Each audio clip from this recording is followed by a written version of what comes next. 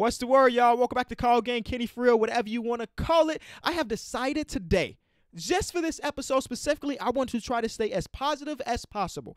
Honestly, this is my only negative thing. We had like a 10 game slate or so. Not a lot of stuff happened today. It wasn't like super close games, super interesting games. We had a couple, but overall, just kind of a, a weird mid day of basketball. But you know what? I'm always here to talk about it. Leave a like, subscribe if you are new, and let's get into it. I want to talk about, start off this video talking about the Utah Jazz, which is going to be interesting to look at the analytics here because I'm going to have the Utah Jazz as the title and in the thumbnail. And as a smaller market team with no like real superstar, I wonder how many people are going to actually click on this video.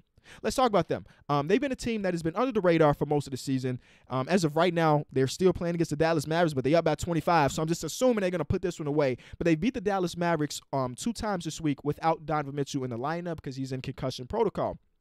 And and the team is on an 11 game win streak, the best record in the league. But somehow, all that being said, with them being a top offense and then being a top defense, not many people are talking about them. Or, or let's be honest, even if you are talking about them, you probably aren't putting them in the upper echelon of the LA teams or the Milwaukee's out east or the, the Brooklyn Nets. You know what I'm saying? For some reason, they're still on this second tier on NBA fans, and that's under, that's understandable because we've seen them do these things where they go on these win streaks. But you know what? I think that this time is different. I don't. I'm going to say this right up top. I do not know if they are contenders. I don't know just yet. But a lot of the things that that are better this year points of like, man, this team might be really good. This team is on an 11 game win streak, best record in the NBA, without Bogdanovich even really finding himself just yet. Just yet. Today he was great. Today he has 27 points, 8 of 12 shooting. He was great today. But other than this, he was shooting like 35% from the field. From the field. And he was averaging like 12 points. They have put together this amazing win streak without one of their top offensive guys playing well. I mean, last year was a 20 point per game score, y'all. So a lot of things have changed for them while a lot of things haven't. Like the roster is completely the same. They did not do any rotational things different. But the numbers tell you, and the eye test tell you, this team is shooting an absurd amount of threes in comparison to anything they've ever done before. I really, I really enjoy coaches that are able to even without having roster moves, adapt their team to play better. And that's basically what Quin Snyder has done, right? They're shooting an extreme, an extreme amount of threes at a high, high clip. And maybe that's what's maybe a little bit scary for me still because they're shooting so efficiently. I can't imagine them doing this for the whole 72 game season and then in the playoffs, especially with a guy like Jordan Clarkson cannot miss. He's always been a streaky player or streaky shooter in his career, but as of right now, he cannot miss. And part of me is like, okay, is it even a streak anymore if we're about 20 games in a year and he's still playing this on fire? Could it still be a streak 20 games in? Or is this just really the player that he has he has blossomed into? You don't really know. But as of right now, he's got to be leading as far as six man of the year goes because even today, there were so many possessions in this first half where the man just dribbled up court and shot the ball. Quin Snyder's running out rotations and lineups. So this is a team of, that has four shooters, and I'm gonna I'm gonna I'm gonna classify Rosanne a little bit in there. Four players on the perimeter that you absolutely have to defend at the perimeter. We're talking about people that can hit it off the dribble. We're talking about people that can hit it and catch and shoot. They have a very very lethal team. They have a very very lethal team, and that opens the game up so much more for Rudy Gobert. I know his counting stats may be down from his last year where he was an All Star. His impact might be even greater right now which is crazy to say because of his counting stats are so down. It is it is a joy to watch. If you're not watching Utah Jazz right now, you're really missing out. Um, and one of the things that has changed dramatically between last year and this year is Mike Conley has found himself right? One of the reasons I was so high on the Utah Jazz last year is because they traded for one of my guys, Mike Conley. And right before they traded for him, he was coming off like back to back seasons where he was playing his best basketball. So him and Donovan Mitchell in the backcourt, I'm assuming this is about to be great. And he didn't find his footing at all last year. The best he played was a couple games in the bubble, but he pretty much with the whole year of being like this, right? He was he was a wave. This year so far, he is he has been clean, he has been solid, and he honestly could be in all-star conversations, but it's Mike Conley. So you know he won't actually get it, but he could be getting a couple votes here and there. He's playing to that level. Joe Ingles last year was trying they were trying to figure out is he our six man now or is he gonna be in the rotation? And that kind of threw off his little his fire a little bit. Congratulations to him for passing John Stockton on all time threes of the Utah Jazz. But I I think he knows his role now. I'm gonna be that guy coming off the bench as long as we're completely healthy. And I'm gonna come in, I'm gonna play that lethal ass pick and roll Rudy Gobert, and I'm gonna hit spot up threes. As long as he knows his role and he's playing that, it is amazing. And like I said, Bogdanovich hasn't found his footing just yet. This team is really, really scary. But the reason why why I believe that maybe they just aren't there just yet, because in a series against one of the LA teams, who the hell is guarding the perimeter other than Royce O'Neale? Now, Joe Ingles has been a good defender in his career. I think he's maybe taken a little step back recently um, because he's getting older. Same thing with Bogdanovich. I remember the series with LeBron versus Bogdanovich. Bogdanovich played pretty solidly um, guarding LeBron, but they don't have multiple wing defenders that I would trust in a playoff series against some of the better wing players in the Western Conference, right? That's the main thing. And even though the counting stats may not say this, Donovan Mitchell hasn't played this week, but like when you watch him play, his decision making has got dramatically better this season in comparison to even last year. And those are all promising signs because if you ask Shaq, his playmaking is what puts him to the next level. So I'm excited about this team. I need to see a little.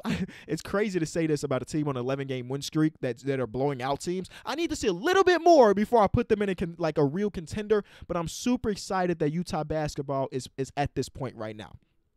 Wow, there was a lot of talk about the Utah Jazz, but I had to do it. I don't know how many other platforms out there are talking about the Jazz, and they deserve a ton, a ton of love. I said I was going to keep positive, so I will not talk about the Dallas Mavericks today. But if they lose their next game, they may be the topic of the next video because I'm keeping positive, so I'm not even going to talk about it. Uh, the next game that I got to watch portion of was um, the Hornets beating the Pacers. Um, speaking of positivity, Malik Monk has been in the rotation for the past week or so, and that's always promising. I know Malik Monk was kind of in the doghouse uh, with some of the things that happened off the court. I don't, of course, we don't know the actual specifics of it, but obviously uh, James Borrego wasn't confident with playing him. But recently, he has gotten to that lineup. Um, you didn't get a lot of Bismack Biyombo minutes, which is promising because you're going against the Indiana Pacers, who are such a dominant team down low. They didn't necessarily need to play their bag bigs, which is great. I'm still waiting for the day they put um um who's the other rookie that they drafted, the big guy, Vernon Carey. Is that is that the guy?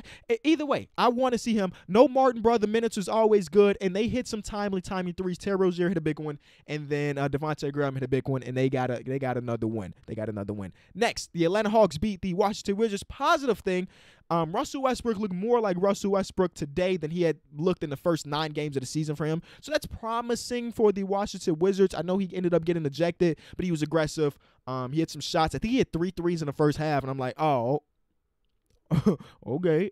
okay, they lost though. Rui Hachimura's back in the lineup. But on the other side of things, Trae Young, he's getting that magic back, and that's all you can really ask for. Um, Rondo, his counting stats may not have looked like much, eight and four, but I promise you, when he was on the court, things look look fluid, and that's basically what they've been missing in the backup point guard since Rondo had been out. So it's good to see him out there.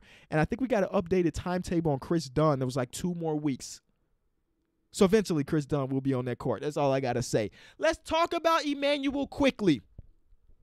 Thibodeau in the New York Knicks. Oh my God. Quickley, 25, 5, and 3 for Emmanuel Quickley. And now, now let's let's be honest, Tom Thibodeau. I know he's a guy that loves his veterans. But you gotta start Quickley at this point, bro. He is literally outplaying Elfrid Payton on every account. Every way, every way possible, he's outplaying Elfrid Payton. There's no way he shouldn't be starting. Um, but another great game from him. It is so amazing how much Tom Thibodeau can change a culture, right? And I had I had forgot about it that he did it to my team, and I still forgot about it. When he signed the Knicks, I didn't have an opinion on. it. I was like, ah, uh, could be good, could be bad. I should have been all positive because I know he's an amazing defensive-minded coach, and he can legitimately change the culture. As of right now, my dog Koba walked into the room. But as of right now, they have the these young players that are playing where RJ Barrett, another big game, Emmanuel Quickley. They have all the draft picks from Porzingis trade, and they're looking like they're getting out of that good. And they also still have their own draft picks while staying competitive. They're building a coach. They have a lot of cap space. So New York Knicks basketball is it back? Who really knows? Speaking of positives, um, Yuta Watanabe was a big positive today. Even though the Raptors ended up catching an L, he had a lot of big moments later in this game, which which helped them um, because w- this is the thing for the for the Raptors so far this season, they will have games where one of their players have amazing games, and and this today it was Pascal Siakam, third quarter he was lethal, um, but they haven't been able to put it together for everybody, right? We haven't had a Fred Van VanVleet game with a Pascal Siakam game with a Lowry game, and it's one of the main reasons why they're struggling. And obviously the center play. Um, I think in the first half, a guy that was barely in the rotation and Hassan Whiteside had like 12 points. They don't have center play, and they got dominated down there today. Um, but when it comes to the Sacramento Kings, was a three game win streak? Three game win streak. I knew it was rough for the Raptors today when De'Aaron Fox hit a step back three in the corner. I was like, yeah, they not winning this one, bro. Chalk it up. They just getting unlucky today because De'Aaron Fox don't do that. He hit it with three threes, bro. When was the last time De'Aaron Fox hit three threes in the game? And shot 60% from three. It doesn't happen. And Tyrese didn't even shoot the ball well, but he hit the biggest shot of the game. I saw a lot of uh, Raptors fans upset about the ejection, and I understand that. Um, I understand that.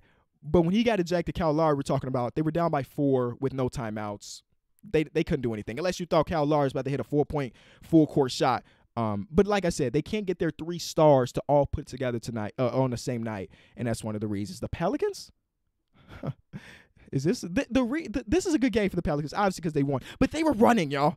They were running. We got the best of Lonzo Ball because they allowed him to be a point guard. He was running. Um, the the thing about the Pelicans is obviously they have a lot of good pieces here, right?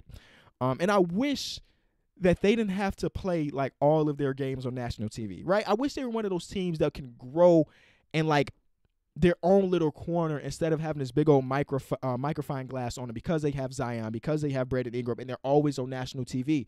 This is a really good game against a really good team. And the best part about it is not just because they won, but they were able to stop the storm that was the Milwaukee Bucks in that second half.